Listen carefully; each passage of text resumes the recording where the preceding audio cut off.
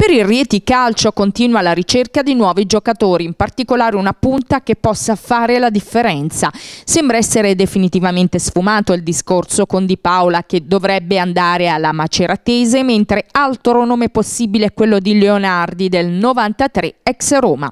Assoluta incognita, ha dichiarato Andrea Fedeli, è l'acquisto dell'esterno Francesco Fe del 96 ex Lazio, Viterbese e Arezzo, un ragazzo in gamba ma che al momento non si sembra essere sicuro di esserci. L'obiettivo infatti è quello di creare una formazione che attraverso sforzi e sacrifici sappia dare il massimo per puntare sempre alla vittoria.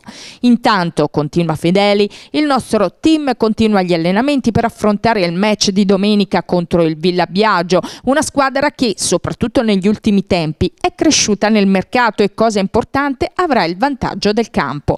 Dunque la rosa presente sul campo dovrebbe essere la stessa della scorsa partita partita in terra toscana e si spera anche il risultato. Se da una parte il giudice sportivo non è stato clemente con il tecnico Beoni squalificandolo per un turno, dall'altra la dirigenza mostra un alto gradimento nei confronti del nuovo mister e a tal proposito Andrea Fedeli ha parlato di un ottimo rapporto.